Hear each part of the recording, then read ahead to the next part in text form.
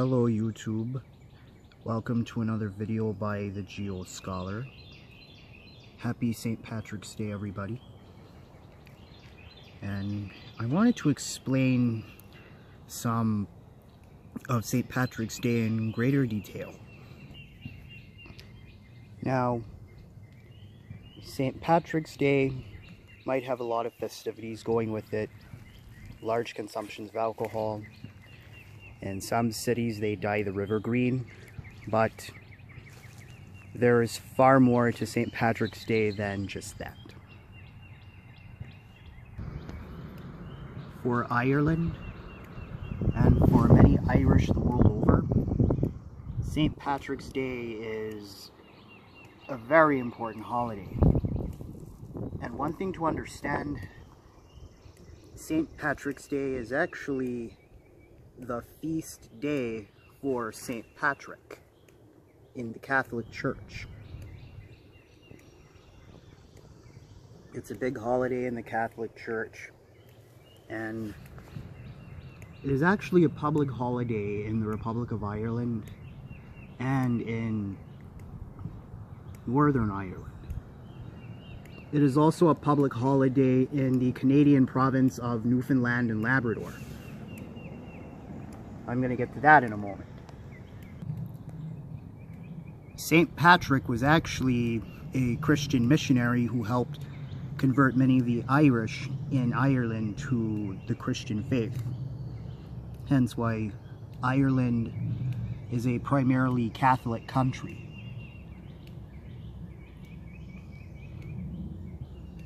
And it is said that he died on March 17th, hence why today, March 17th, is St. Patrick's Day, the feast day of St. Patrick. One reason I am filming these shamrocks. Now, the shamrock culturally is a very big symbol in Ireland. However, there is a reason that shamrocks are very synonymous with Ireland and St. Patrick's Day. You look at this, this is three, this is a three-leaf clover. You got, a, you got three leaves here, one, two, three. Now, the three-leaf clover, the shamrock, it is used to describe the Holy Trinity, Father, Son, Holy Spirit the shamrock was used in Ireland to describe the Holy Trinity. You know, you've got three leaves here, Holy Trinity, three, something to think about. And shamrock comes from the Irish Gaelic word seamróg. It means young clover.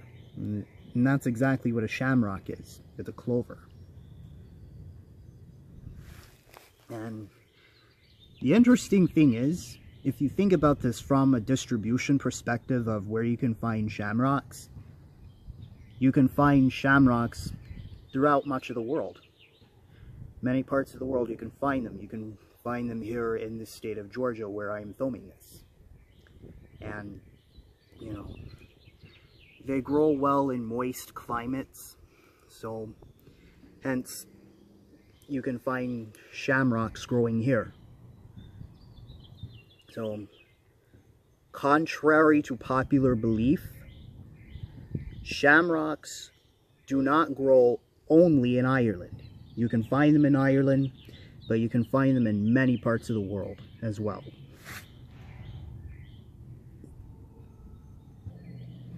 You've got more shamrock right over here.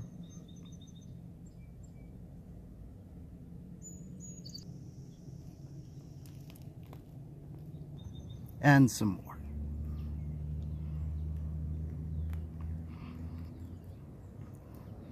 This is considered an important cultural symbol in Ireland and it's a plant that you can find in many parts of the world. It became a cultural symbol of Ireland mainly through St. Patrick.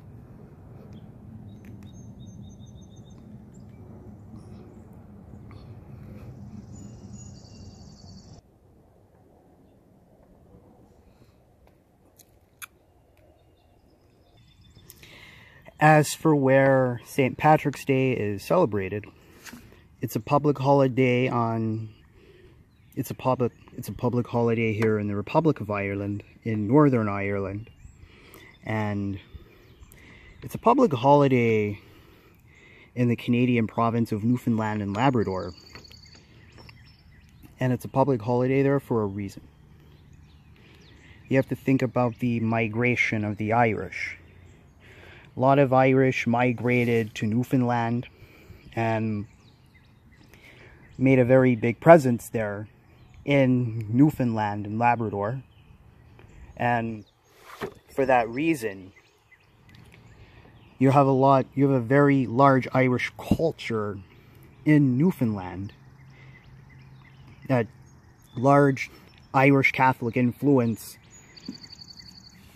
on the island of Newfoundland and in Labrador.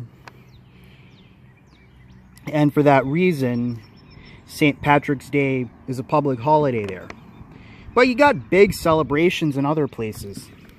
Boston, Chicago, New York, Savannah. You had a migration of the Irish to a lot of these ports. To like New York, Boston, Philadelphia, Baltimore, Savannah, Charleston. A lot of Irish immigrated to Chicago. You had that large Irish immigration.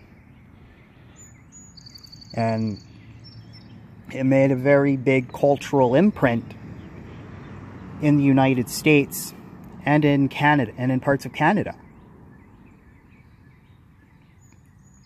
So St. Patrick's Day is actually celebrated the rolled over among many who are Irish. And a little interesting fact, there are actually more people there are actually more people of Irish descent throughout the rest of the world than in Ireland. A lot of people, a lot of Irish people went to Canada, went to the United States. Many Irish went into Mexico, other parts of Latin America. Many went to Chile, Argentina, Brazil. Some went to South Africa. Some went to Australia, New Zealand. But when you think about St. Patrick's Day, don't just be thinking about don't only think about the drinking. You got to think about the cultural aspect, the migration of people who have sort of brought Irish culture to other places and St. Patrick's Day having a big presence in those areas. A lot to think about. So it's you got to really think about cultural geography, you know, about the culture of the Irish people, their faith, their just don't don't think about drinking.